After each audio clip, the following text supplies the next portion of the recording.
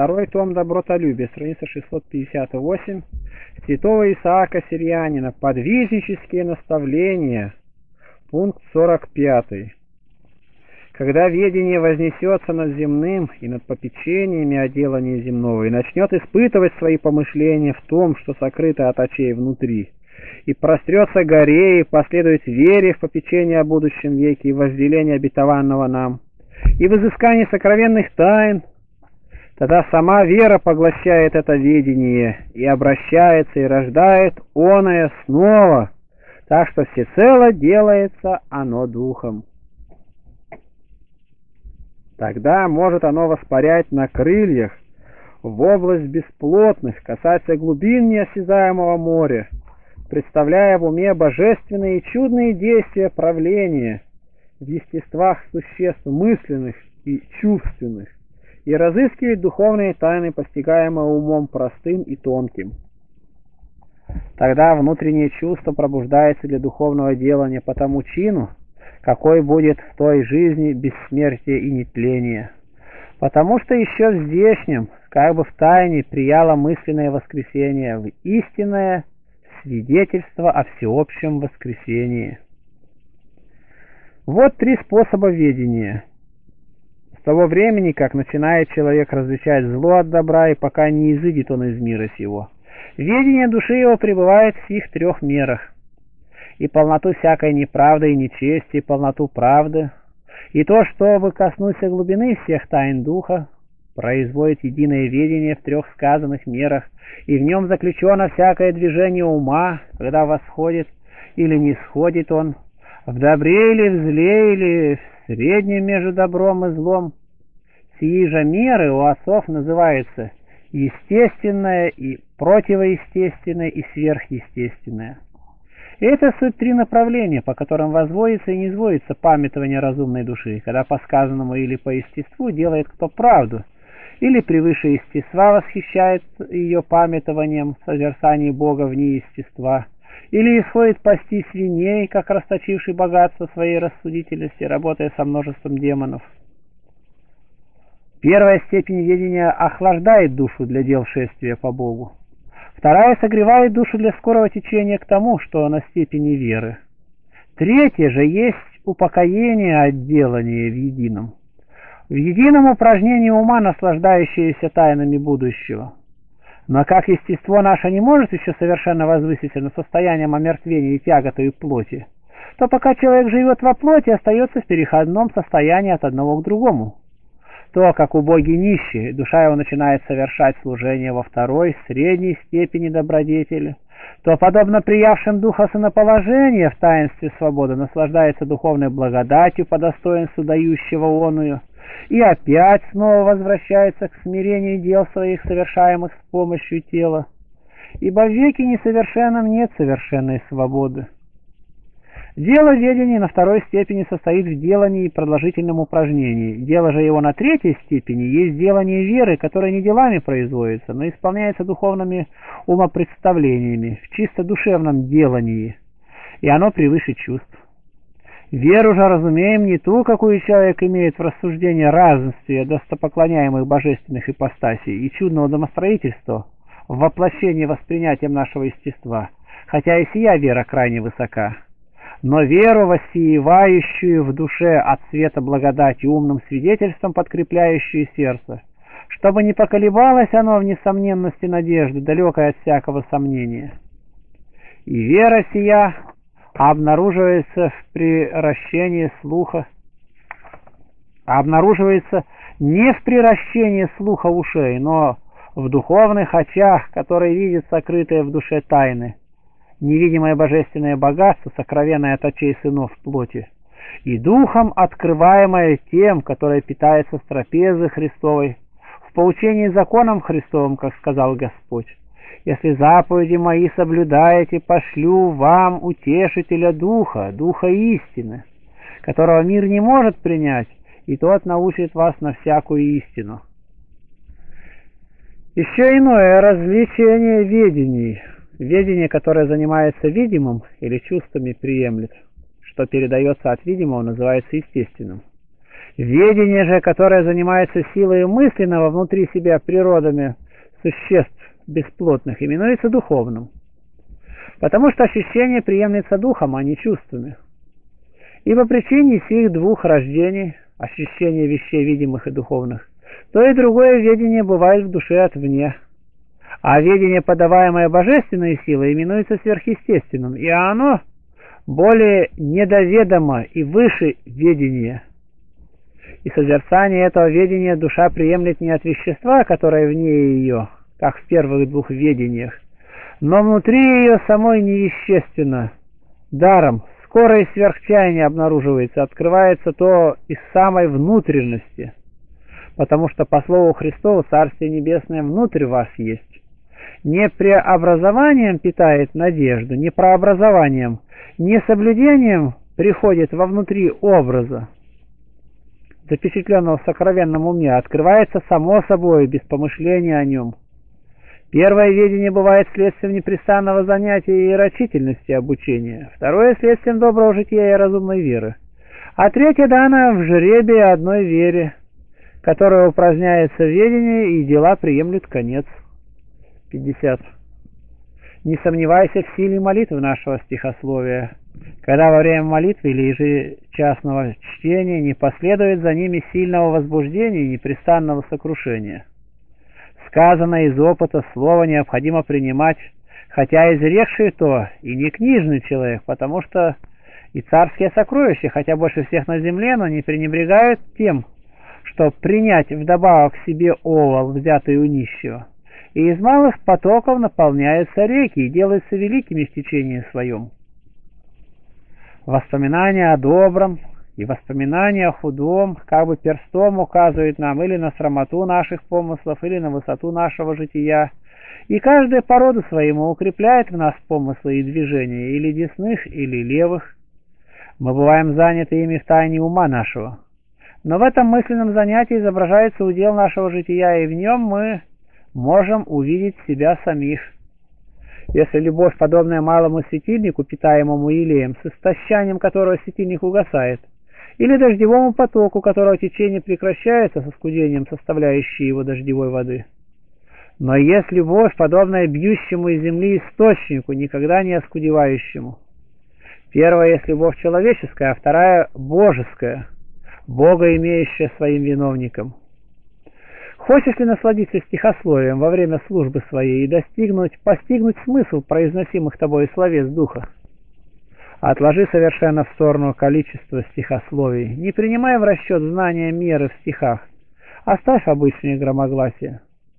Но углубляйся умом твоим в изучение словес Духа, пока душа твоя не возбудится к высоким разумениям, и через то не подвигнуться к словословию или к полезной печали. В рабском же делании, вычитывании только положенного, нет мира уму. А смущение отнимает обыкновенно вкус у смысла и понятливости и расхищает мысли. Смущение прилично назвать колесницей дьявола, потому что сатана имеет обычай, подобно ездаку, восседать на ум, брать с собой кучу страстей, с ними входить в несчастную душу и погружать ее в смущение. 55. Не прикословь помыслам, всеваемым в тебе врагом, но лучше молитвой к Богу прерывай беседу с ними. Не во всякое время имеем мы силу так воспрекословиться противным помыслам, чтобы прекратить их. Напротив того, в таковом случае нередко получаем от них язву, которой долгое время не уврачуешь.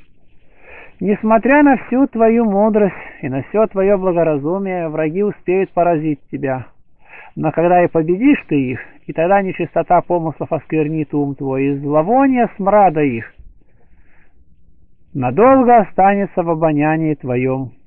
Употребив же первый способ, будешь свободен от всего этого и от страха, потому что нет иной помощи, кроме Бога. Когда во время пребывания твоего в келейном безмолвии обращаешься к рукоделию, не обращай отеческой заповеди в покрывало своему сребролюбию. Не обращай.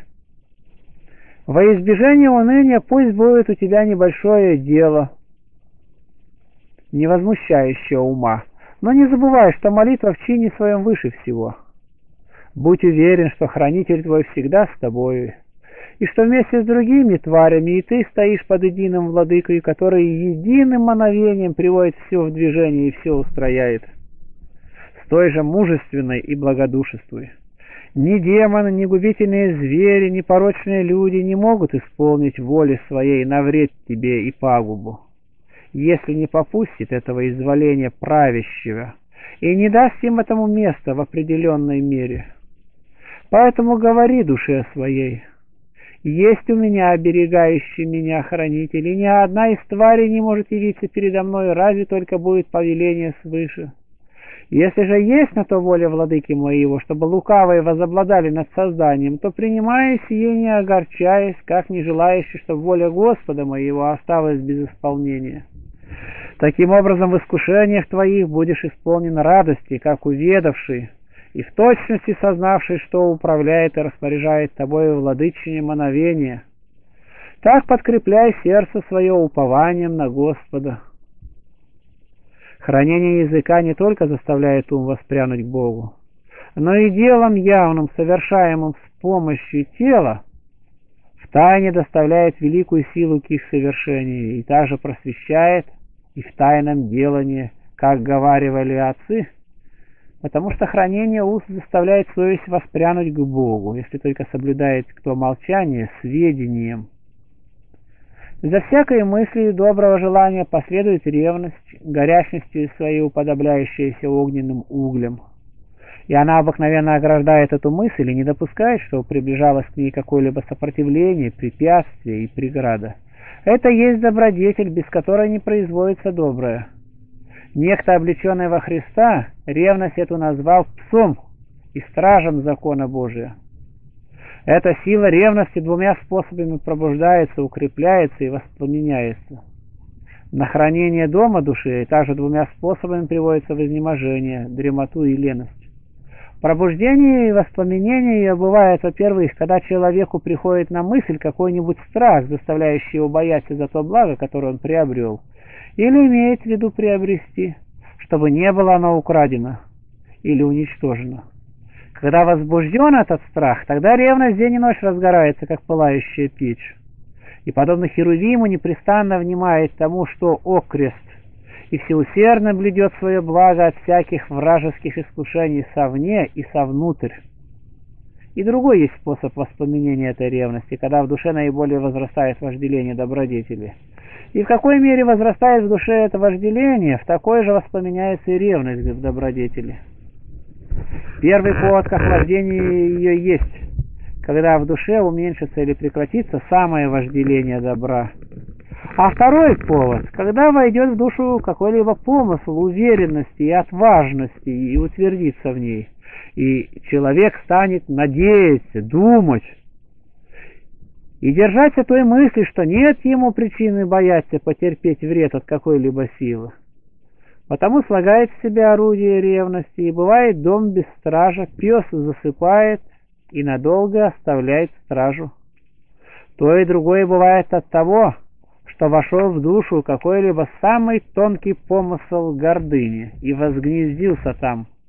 Или человек стал более предаваться попечению о приходящем, или частому обольстительному для него сообщению с миром. Или бывает это от чрева этой госпожи всего худого, Всякий раз, как подвижник вступает в общение с миром, душа его тотчас изнемогает. Тоже бывает, когда сходится оно с многими, которое под тщеславие неизбежно сокрушает душу его. Ум подвижника, входящего в общение с миром, уподобляется кормчему, который спокойно идет по морю и внезапно попадает в середину подводных камней и терпит крушение. 60. Предпочитать доброе изволение есть дело желающего – Довершать же выбор доброго изволения – дело Божие. Для этого человек имеет нужду в Божьей помощи. Будем же делать так, чтобы за появляющимся в нас добрым желанием следовали частые молитвы. С прошением не только оказать нам помощь, но и показать, благоугодно ли желание сие воли Божией или нет. Ибо не всякое доброе желание входит в сердце от Бога, но только то, которое полезно. Иногда человек желает доброго, но Бог не помогает ему. Потому что иногда подобное этому желанию входит и от дьявола, не на пользу нам, а во вред. или потому что дело желаемое не в меру нам, так как мы не достигли еще соответствующего тому жития, или потому что оно чуждо принятому нами на себя образу, или потому что не пришло еще время, когда можно исполнить то, или начать его исполнение, или потому что не имеем ни ведения, ни телесных сил, достаточных для него, или потому что обстоятельства времени не способствуют нам в том, Дьявол, между тем, всячески ухищряется прикрасить такое дело благовидностью, чтобы склонить на него, расстроить душевный покой или причинить вред телу. Поэтому надлежит тщательно обсуждать и доброе желание. Лучше же советом все твори. Добродетель есть матерь печали, а от печали рождается смирение. Смирение дается благодать и воздаяние потом бывает уже не в добродетели и не труду ради ее, но рождающемуся от них смирению. Если же оно утрачено, то первые будут напрасны. Господь требует ни одного делания заповедей, но более исправления души, для которого узаконил заповеди. Тело равно действует и в правых, и в левых делах. Ум же при всем правом является или погрешает, судя по настроению своему. Дарование без искушений – погибель для приемлющих то.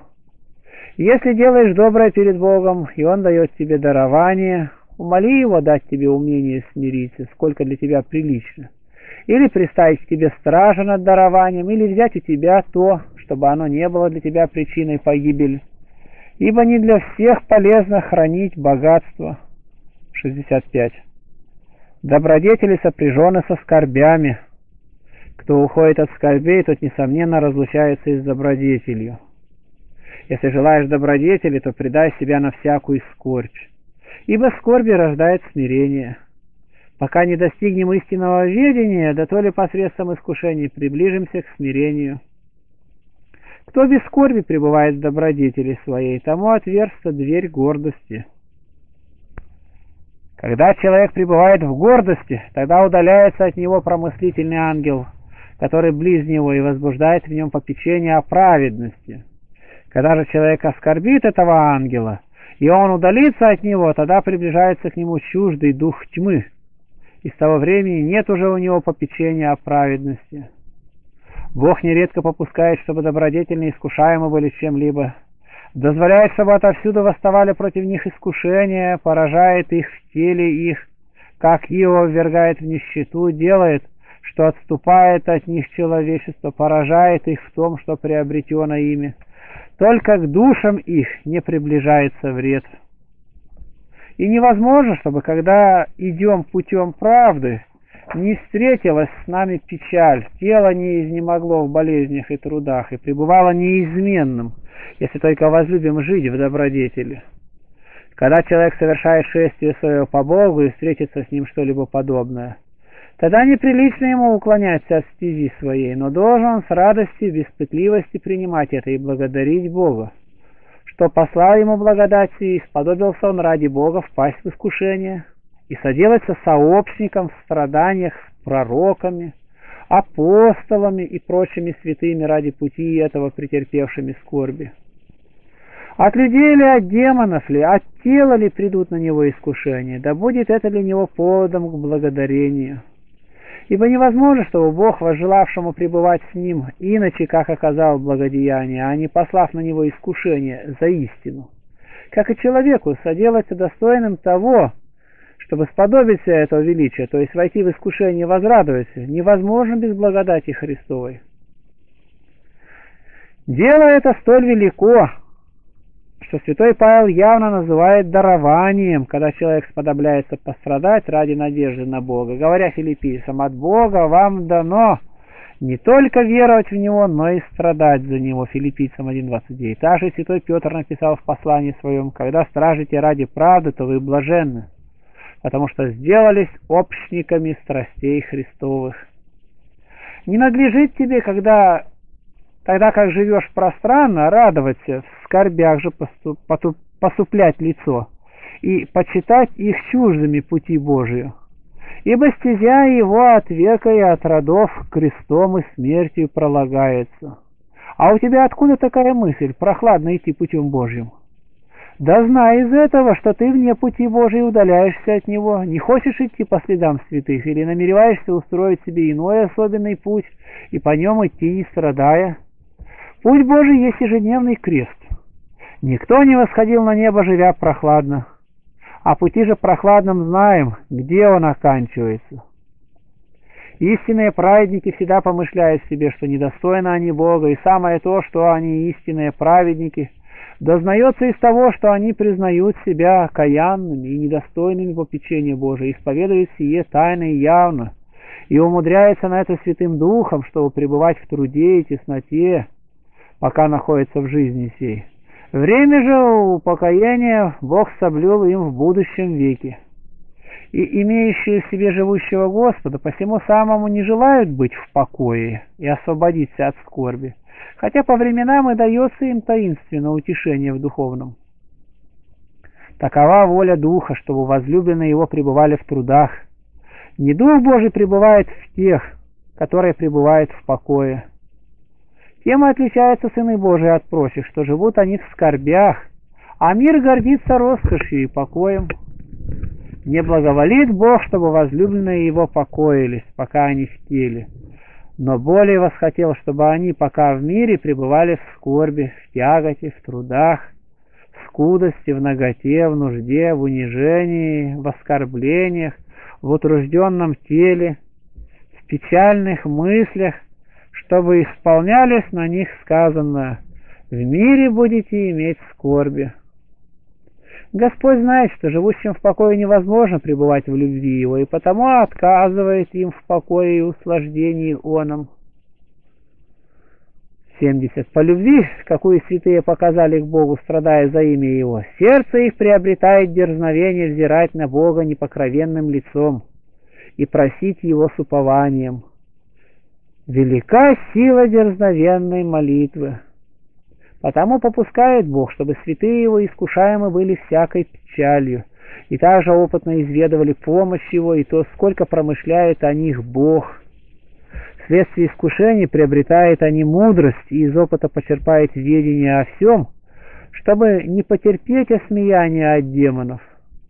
Если Бог упражнял их в одном добром, то не доставало бы им обучения в другой части, и в обраниях бывали бы они слепы. Если человек не бывает сперва искушен испытанием худого, то он не имеет вкуса в добром, чтобы, когда встретится в худом доброе, воспользоваться тем сведением, как своей собственностью. Как приятно знание, заимствованное самым делом из опыта и из упражнений, и какую силу доставляет оно тому, кто долговременным опытом своим приобрел то в себе самом, это познается теми, которые изведали содействие этого знания, равно как немощь естества и помощь божественной силы, и уверились в этом. Ибо тогда только познают они это, когда Бог, удержав сперва силу свою от содействия им, приводит их в сознание немощи естества, трудностей искушений, лукавства вражеского – и того, с кем у них борьба, каким облечены они естеством, и как были охраняемы божескую силою, сколько совершили пути, сколько возвысила их Божья сила, и сколько бывает они немощны в борьбе со всякой страсти, если удаляется от них эта Божья сила. Так что из всего этого приобретают они смирение, приближаются к Богу, начинают ожидать Его помощи и пребывать в молитве. И откуда бы заняли они все это, если бы не приобрели опыта о многом худом, впав в это худое по Божьей попущению, как говорит апостол? За премногие откровения, чтобы я не превозносился, дам мне пакостник плоти, ангел сатанин. Но в искушениях, многократно испытывая Божию помощь, человек приобретает и твердую веру, а чего делается небоязненным и приобретает благодушие в искушениях. Искушение полезно всякому человеку. Подвижники бывают искушаемы, чтобы присовокупить нечто к богатству своему, расслабленные, чтобы охранять им себя от вредного, погруженные в сон – чтобы приготовляться им к пробуждению, далеко стоящие, чтобы приблизиться им к Богу, свои Богу, чтобы веселиться им с дерзновением. Всякий необученный сын приемлет богатство из дома отца своего не в пользу себе.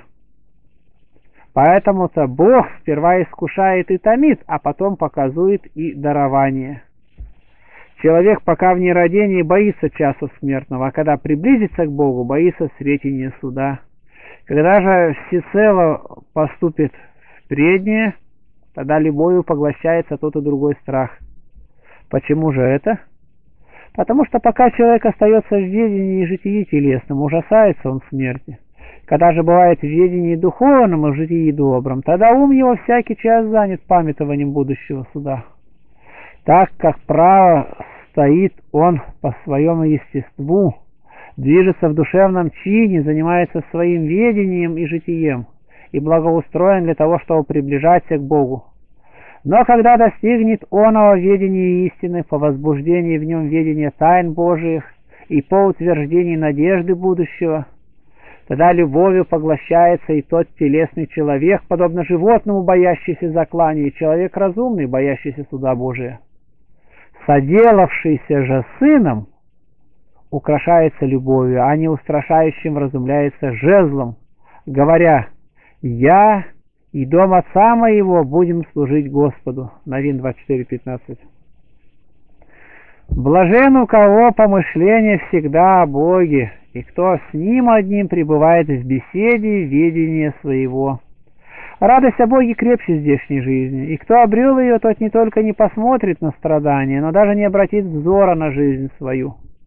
Любовь сладостнее жизни и разумение по Богу, от которого рождается любовь, еще сладостнее более меда и сота. Любви не печаль принять тяжкую смерть за любящих. Любовь есть порождение ведения, а ведение есть порождение душевного здравия. Здравие же душевное есть сила, происшедшая от продолжительного терпения. 75. Жизнь вечная есть утешение в Боге, и кто обрел утешение в Боге, тот почитает излишним утешение мирское. Приял ли кто мудрость от Духа, познает он из самой мудрости, которая в сокровенности его и в чувствах, учит его смиренным нравом, Достигли кто смирения, узнает он из того, если находит для себя гнусным угождать миру своим общением с ним или словом, если в глазах его ненавистна слава мира его всего. Страсти в действии – суть приражения, которое, бывая производимы вещами мира сего, увлекает под предлогом необходимости удовлетворять потребностям жизни. И приражение эти не прекращается, пока стоит мир этот. Но человек, который сподобился божественной благодати, вкусил и ощутил нечто высшее всего, не попускает приражением этим входить в сердце его, потому что вместо их возобладало в нем другое, лучшее их вожделение. И к сердцу его не приближаются ни самые эти приражения, ни порождаемые ими, но остаются они вне бездейственными, не потому, что нет уже страстных приражений, но потому, что приемлющее их сердце мертвы для них и живет чем-то иным. Не потому, что человек успокоился вследствие хранения рассудительности и дел, но потому, что в уме его нет ни от чего тревоги. Сознание его насыщено, насладившись чем-то иным. Если будем хранить закон трезвения и дело рассудительности в ведении, то борьба с страстными приражениями совсем не приблизится к уму. Воспрещается же войти им в сердце вследствие не борьбы, но пресыщения сознания и ведения, каким наполнена душа, и желания чудных, находимых в душе созерцаний. Пока человек живет, имеет нужду в трезвенности, попечительности и бодренности, чтобы охранять свое сокровище. Но если оставить, оставит он назначенный ему предел пост, то сделается немощным и будет окраден. Не до того только времени трудиться должно, пока увидишь плод, но надо подвязаться до самого исхода, ибо нередко и созревший плод побивает внезапно град. Если приобучим себя к доброму размышлению, поучению сердца, то будем стыдиться страстей, как скоро встретимся с ними. но будем стыдиться приближения к страстям и по причине их виновности. Когда из любви к Богу желаешь совершить какое дело, пределом желания этого поставь смерть, и таким образом на самом деле сподобишься взойти на степень мученичества в борьбе с каждой страстью и не понесешь никакого вреда от того, что встретится с тобой внутри оного предела, если претерпишь до конца и не расслабеешь. Помышление немощного рассудка немощное делает и силу терпения, а твердый ум и тому, кто следует помышлению его, сообщает силу, какой не имеет природа. 80. Житие мира этого подобно начертанию букв на таблицах. И когда кто захочет и пожелает, прибавляет к ним и убавляет, и делает перемену в буквах. А жизнь будущая подобна рукописаниям, начертанным на чистых свитках, запечатленным царской печатью, в которых не допускается уже ни прибавления, ни убавления. Поэтому пока мы среди изменения Будем внимательны к себе, и пока имеем власть над рукописанием жизни своей, какое пишем своими руками, постараемся делать в нем дополнение добрым житием и изглаждать в нем недостатки прежнего жития. Ибо пока мы в мире этом, Бог не прилагает печати ни к доброму, ни к худому до самого часа исшествия из этой жизни. Молитва имеет нужду в упражнении, чтобы ум умудрился долговременным пребыванием в воной. Молитва предваряет отшельничество, уединение, отвлечение мыслей от всего стороннего. Отшельничество нужно ради молитвы, а молитва для того, чтобы приобрести нам любовь Божию. Потому что следствие молитвы сыскиваются причиной любить Бога. Надлежит знать нам, что всякая беседа к Богу, совершаемая в тайне – всякое попечение доброго ума о Боге, всякое размышление о духовном устанавливается молитвою,